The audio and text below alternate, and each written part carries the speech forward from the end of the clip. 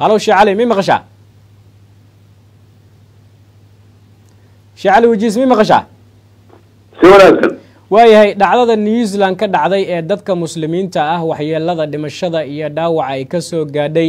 shalay waxaad ka mid ahayd culammada soomaaliyeed ee ka hadashay dhacdadaasi. Bal ka waran wadiiqada barnaamijka dhacdadaasi sida ay u dhacday iyo ficil ahaan diinta islaamka waxyaabaha ay ka qabto in falan noocaasa dunida caalamka ay ka dhacaan. Bismi illah alxamdu lilah wasalaatu wasalaamu calaa rasuuli illah wacala aalihi wasaxbihi waman walaa marka hore waa mahadsantihiin university t v dhacdada shalad dhacday oo maalintii jimcada maaragtay muslimiintu ay ilaahay ku caabudayeen shacairtooda islaamkana ay ogaayeen masjidka masjid nuur ee dalka new zealand new zealanda labada masjidba ka dhacday ninka argagixisada ah ee australiyaanka asalkiisa uu yahay oo nacaybka islaamka iyo shacaa'irtii gaalada ee xilligii islaamka dagaalka sliibiyiintii hore ay ku haayeen dawladdii cusmaaniga waxyaabihii ay adeegsanayeen na adeegsaday muusiga oo saartay oon wada dhegaysanaynay oo markii la turjumo ahayd iyadana maaragtay nacaybka islaamka ku dhisnaa iyo cadaawadiisa. Waa dhacdo argagixiso ah argagax ah argagixin ah oo aada u foolxun xasuuq wuxuu ahaa wadareed. Dad cibaado ku jira. Wuxuuna xambaarsan yahay afar shay oo wada muxaramaad ah. Horta gaalaa samaynayo hadda xaaraan iyo xalaal iyo laga hadli maa laakiin afar walxaato ama afar arrimood oo aada u fool xun oo di diinta islaamka iyo xataa diimankii la taxriifiyey oo islaamka ka horreeyo de intaan la taxriifin diin wanaagsan ahayd laakiin hadda ay ku dheeleen nimankii loo soo dejiyey. Iyo xataa qawaaniintan hadda caalamiga lagu magacaabo dadku oon wax ay ku heshiiyeen. Iyo caqliga bani aadamka ee insaaniyaddaba intaba ku fool xun ay ahayd. Marka koobaad marka labaad goob cibaado oo masjida ayay ka dhacday oo jariimo ay tahay in wax lagu sameeyo. Marka saddexaad dad cibaado ku jiro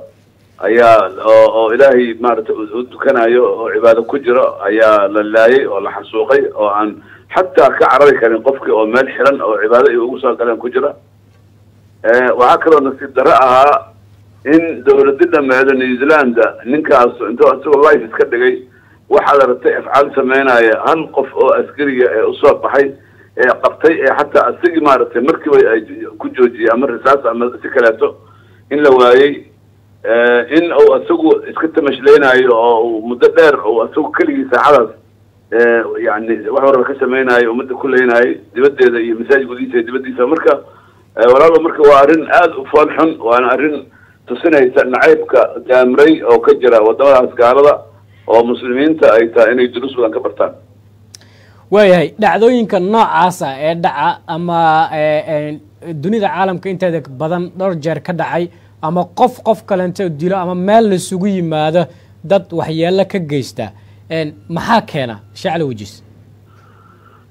waxaa keena walaale waxaa keena. Inta badan laba shay ayaa keenaysa in diin si qaldan loo fahmay oo qofku uu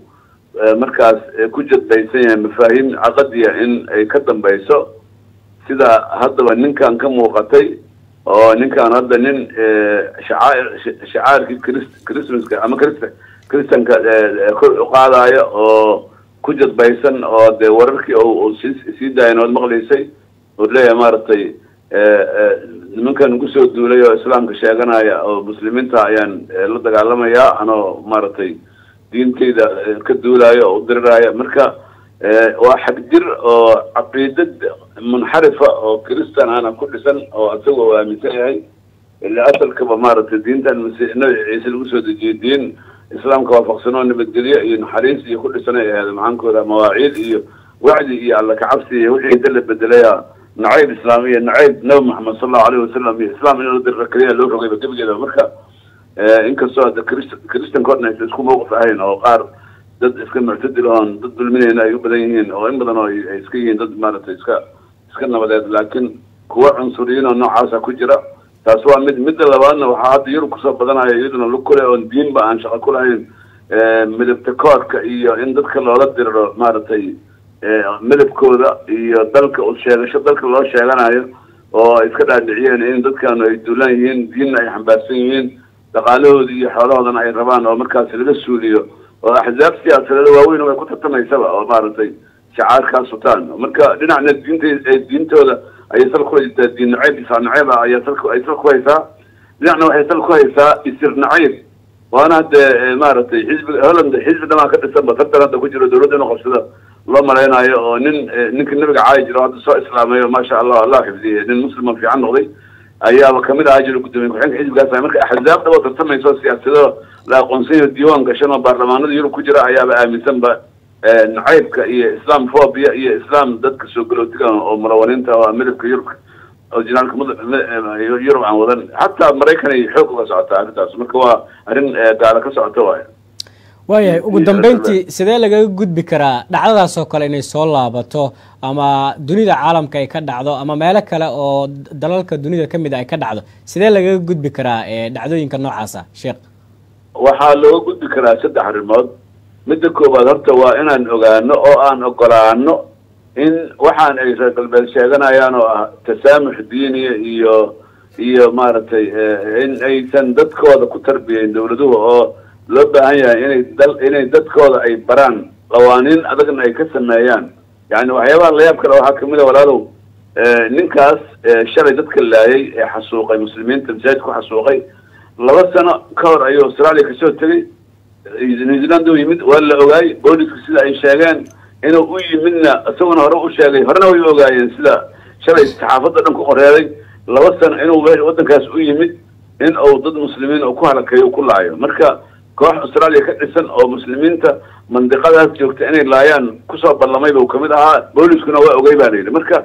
sababta looga hortegi waayo marka ninkaas oo kaleeto inta la qabto maadaama niyadiisa xun la ogyahay in xabsi la dhigo ama la dhaqan celiyo waxaa keenaya qawaaniinta galbeedka ka dhisanaa jilacsan oo kahortag ma leh dabagalay dabagalay leedahay kahortag ma leh. Kahortag waxay leedahay keliya marka dadka muslimiinta ah la baaraayo oo fiisooyinka lagu dhibaayo oo waa la argixisa la leeyahay oo dir lagu arko oo khamiis lagu arko oo magaca muslim maxamed iyo cabdullahi cabdiraxmaan lagu arko. Laakiin markay iyagu john iyo ay qoran yihiin iyo iyo bitr iyo maarata iyo baker iyo ma ma dabagalaan leannahu jinsiga oo oo eurubianka ama galbeedka ama maraykan ha ahaadee israaliyaanka ayayba aaminsan yihinba inuu inuu nazih yahay. Marka horta ko waa in caqiidada noocaasa reer galbeed ay iska bedelaan ay ogaadaan dadkooda xagjirka inay argagixisan yihiin ee ay qawaaniina ka dejiyaan qabtaanna ilaaliyaanna labo dadka muslimiinta ee reer galbeedka tegey galbeedka u shaqo tegay ama nolol u doontay ama si kale u aaday ama diinta inay ka fidiyaan wax ku baranaya inay taxadir adag ay qaataan oo sida hadda walaalaha muslimiinta oo minnesota iyo shala ay bilaabeen masaajida in hubkan yurub iska yaal iyo australia iyo maraykan iyo oo lakasoo qaadanayo dadka lagu leynayo muslimiinta ah inay iyaguna maaragtay maaragtay inta soo sharciyeystaan iyo amni nabadgelyadooda iyagoo sharciyeysan oo dawladooda shati ka haysta ogolaasho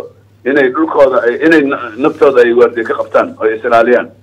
qodobka saddexaadna waxaa waaye inay dadka muslimiinta ah meel kasta ay joogaan inay samaystaan qareenayaal iyo dad xuquuqdooda u dooda oo dhibaatooyinkaas oo kaleetaysan ka sameeya qawaaniin adag oo ilaalisana ee dalalka ay joogaan ku difaaca saddexaas arrimoodaa laga maarmaan aada iyo aad buu mahadsan yahay kaasina wuxuu ahaa sheekh cali wajiis oo ka mid ah culummada soomaaliyeed islamarkaana ka waramayey sida markaasi shareecada islaamka iyo dadka muslimiinta ah shalay ay ugu warameen dhacdadii ka dhacday wadanka new zealand ee dad muslimiina oo aada u fara badnaa oo ku cibaadeysanayay masjid halkaasi ku yaalay oo nin hubaysan. Markaasi rasaas la dhacay oo dad aada u fara badan